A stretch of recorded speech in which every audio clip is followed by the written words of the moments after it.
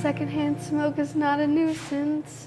It's a community health hazard. Please help advocate for clean indoor air by supporting 100% smoke-free businesses just like this one.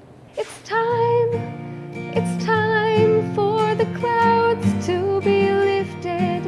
It's time, it's time, have conviction. It's time.